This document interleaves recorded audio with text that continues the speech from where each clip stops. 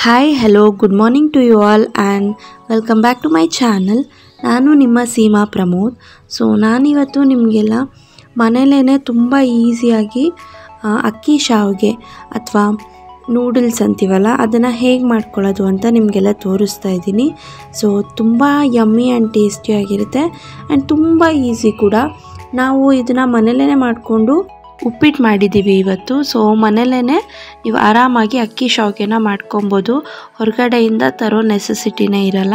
And ತುಂಬ ಈಸಿಯಾಗಿದೆ method ಇದು. ತುಂಬ ಬೇಗನೂ ಕೂಡ ಮಾಡ್ಕೊಬೋದು.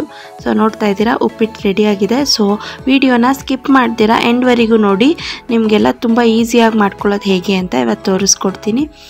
ಸೊ ಮೊದಲನೇದಾಗಿ ನೀರನ್ನು ಬಿಸಿಗಿಟ್ಕೊಂಡಿದ್ದೀವಿ. ನೀರು ಸ್ವಲ್ಪ ಕುದಿಬೇಕು. ತಣ್ಣೀರನ್ನ ಇಲ್ಲಿ ಯೂಸ್ ಮಾಡೋಕ್ಕಾಗಲ್ಲ, ಮಾಡಿದ್ರೆ ಒತ್ತಕ್ಕಾಗಲ್ಲ ಅದಕ್ಕೋಸ್ಕರ. ಆ್ಯಂಡ್ ಇಲ್ಲಿ ನಾನು ಗ್ಲಾಸ್ ತೋರಿಸ್ತಾ ಇದ್ದೀನಲ್ಲ, ಆ ಗ್ಲಾಸಲ್ಲಿ ಎರಡರಿಂದ ಎರಡೂವರೆ ಗ್ಲಾಸಷ್ಟು ವಾಟರ್ನ ಆ್ಯಡ್ ಮಾಡ್ಕೊಂಡಿದ್ದೀವಿ. ಆ್ಯಂಡ್ ಅದಕ್ಕೆ ಒಂದೇ ಸ್ಪೂನಷ್ಟು ಹರಳುಪ್ಪು. ಸೊ ನೀವು ಪುಡಿ ಉಪ್ಪು ಕೂಡ ಹಾಕ್ಕೊಬೋದು.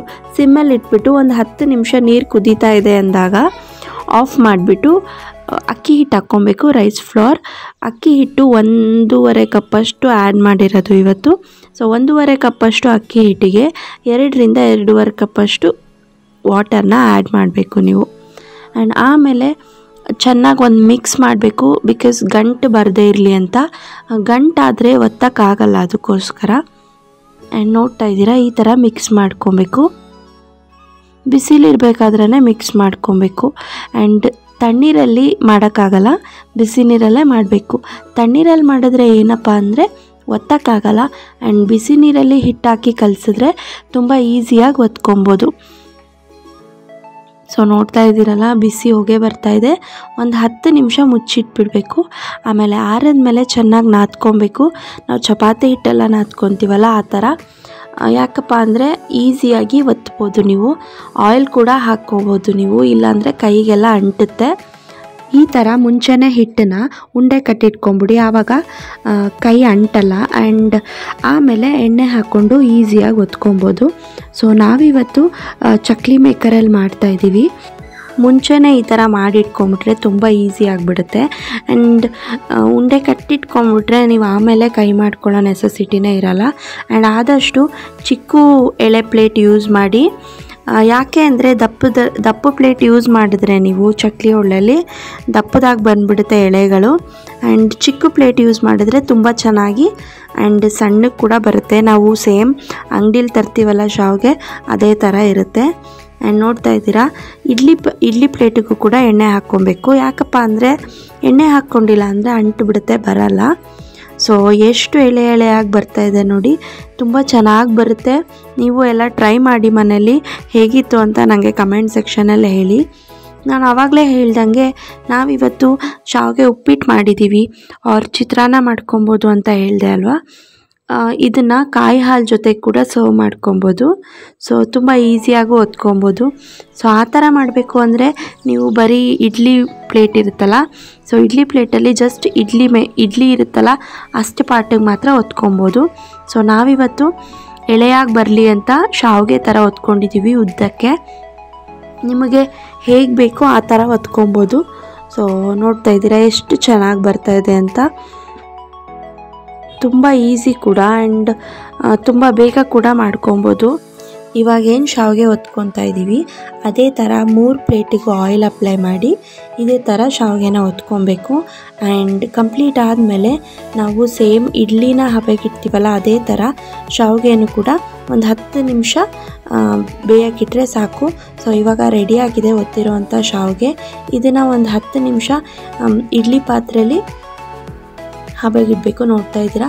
ಒಂದು ಗ್ಲಾಸಷ್ಟು ವಾಟರ್ನ ಹಾಕ್ಕೊಂಡು ಸೊ ಜಾಸ್ತಿ ಹೊತ್ತೇನು ಬೇಡ, ಒಂದು ಹತ್ತು ನಿಮಿಷ ಇಟ್ಟರೆ ಸಾಕು. ಸೊ ಅದು ರೆಡಿ ಆಗುವಷ್ಟರಲ್ಲಿ ನಾವಿವಾಗ ಒಗ್ಗರಣೆ ಮಾಡ್ಕೊಳ್ಳೋಣ. ಎರಡು ಈರುಳ್ಳಿ, ಹಸಿಮೆಣಸಿನಕಾಯಿ, ಕರಿಬೇವಿನ ಸೊಪ್ಪು, ಸಾಸಿವೆ ಅರಿಶಿನ ಕಾಯಿ ಆಪ್ಷನಲ್ಲೂ ಬೇಕಾದರೆ ಹಾಕ್ಕೊಬೋದು, ಇಲ್ಲಾಂದರೆ ಇಲ್ಲ. ಆ್ಯಂಡ್ ಕಡಲೆ ಬೀಜನ ಮುಂಚೆನೇ ಒಂದರಿಂದ ಎರಡು ಸ್ಪೂನಷ್ಟು ಎಣ್ಣೆ ಹಾಕಿ ಹುರಿದಿಟ್ಕೊಬೇಕು. ಯಾಕಪ್ಪ ಅಂದರೆ ಒಗ್ಗರಣೆ ಟೈಮಲ್ಲಿ ಹಾಕಿದ್ರೆ ಮೆತ್ತಗಾಗ್ಬಿಡುತ್ತೆ ಅಂತ. ಆ್ಯಂಡ್ ಈ ಮೆಥಡ್ನ ಫಾಲೋ ಮಾಡಿ ತುಂಬ ಚೆನ್ನಾಗಿರುತ್ತೆ. ಆ್ಯಂಡ್ ಬಾಯಿಗೆ ಸಿಕ್ಕಿದಾಗ ಲೈಕ್ ಕ್ರಂಚಿನೆಸ್ ಹಾಗೇ ಇರುತ್ತೆ. ಆ್ಯಂಡ್ ಆಮೇಲೆ ಒಂದು ಐದರಿಂದ ಆರು ಸ್ಪೂನಷ್ಟು ಎಣ್ಣೆ ಹಾಕಿ ಸಾಸಿವೆ ಹಾಕ್ಕೊಬೇಕು.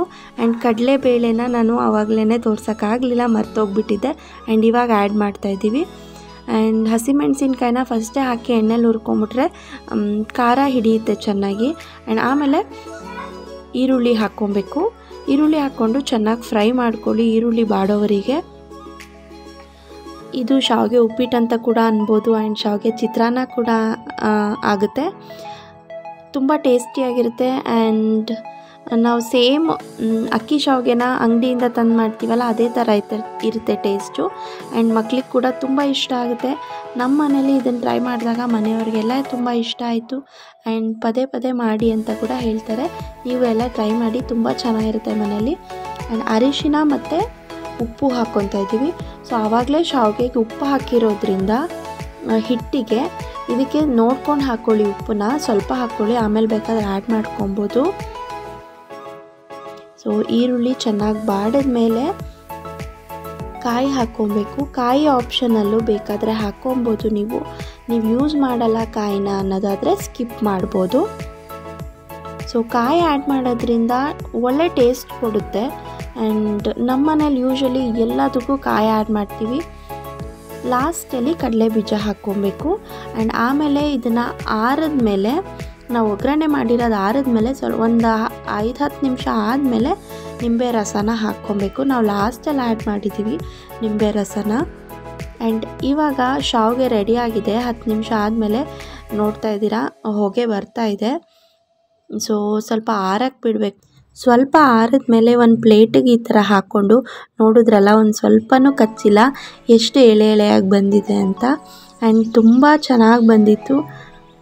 ಸೊ ಈ ಥರ ಒಂದು ಪ್ಲೇಟಿಗೆ ಹಾಕ್ಕೊಂಡು ಅದನ್ನು ಅಥವಾ ಫ್ಯಾನ್ ಕೆಳಗಡೆ ಅಥವಾ ಗಾಳಿಗೆ ಬಿಡಬೇಕು. ಕಂಪ್ಲೀಟಾಗಿ ಆರದ ಮೇಲೆ ಒಗ್ಗರಣೆಗೆ ಹಾಕ್ಕೊಂಡು ಮಿಕ್ಸ್ ಮಾಡಿದ್ರೆ ಸೊ ರುಚಿಯಾದಂಥ ಶಾವಿಗೆ ಉಪ್ಪಿಟ್ಟು ರೆಡಿ ಆಗುತ್ತೆ. ಆ್ಯಂಡ್ ಇದು ಅಕ್ಕಿ ಶಾವಿಗೆ ಉಪ್ಪಿಟ್ಟು ಆ್ಯಂಡ್ ತುಂಬ ಚೆನ್ನಾಗಿ ಕೂಡ ಬರುತ್ತೆ. ತುಂಬ ಈಸಿಯಾಗಿ ಮಾಡ್ಕೊಬೋದು. ಏನು ಇಂಗ್ರೀಡಿಯೆಂಟ್ಸ್ ಬೇಡ. ನೀವು ನೋಡ್ದಂಗೆ ಅಕ್ಕಿ ಹಿಟ್ಟಿದ್ರೆ ಸಾಕು ಆ್ಯಂಡ್ ತುಂಬ ಟೇಸ್ಟಿಯಾದಂಥ ಶಾವಿಗೆ ಉಪ್ಪಿಟ್ಟನ್ನ ಮಾಡ್ಕೊಬೋದು ಮನೇಲೇ ನೀವು. ಸೊ ನಿಮಗೆಲ್ಲ ವಿಡಿಯೋ ಇಷ್ಟ ಆಗಿದೆ ಅಂತ ಅಂದ್ಕೊತೀನಿ ನಿಮಗೆಲ್ಲ ಇಷ್ಟ ಆದರೆ ಒಂದು ಲೈಕ್ ಮಾಡಿ ಆ್ಯಂಡ್ ಹಾಗೆ ನನ್ನ ಇನ್ಸ್ಟಾಗ್ರಾಮಲ್ಲಿ ಕೂಡ ನೀವು ಫಾಲೋ ಮಾಡ್ಬೋದು. ನನ್ನ ಇನ್ಸ್ಟಾಗ್ರಾಮ್ ಐ ಡಿ ಅಲ್ಲೇ ಮೇಲೆ ಡಿಸ್ಪ್ಲೇ ಆಗ್ತಿದೆ ನೋಡಿ. ಯಾರ್ಯಾರು ಇನ್ನೂ ನನ್ನ ಚಾನಲ್ ಸಬ್ಸ್ಕ್ರೈಬ್ ಮಾಡಿದೆ ವಿಡಿಯೋ ನೋಡ್ತಾ ಇದ್ದೀರಾ ಪ್ಲೀಸ್ ಬೇಗ ಹೋಗಿ ಸಬ್ಸ್ಕ್ರೈಬ್ ಮಾಡ್ಕೊಂಡು ವಿಡಿಯೋ ನೋಡಿ. ಆ್ಯಂಡ್ ನಿಮಗೆಲ್ಲ ಇಷ್ಟ ಆದರೆ ನಿಮ್ಮ ಫ್ಯಾಮಿಲಿ ಫ್ರೆಂಡ್ಸ್ ಜೊತೆ ಶೇರ್ ಮಾಡಿ. Thanks for watching see you in next video until then take care bye bye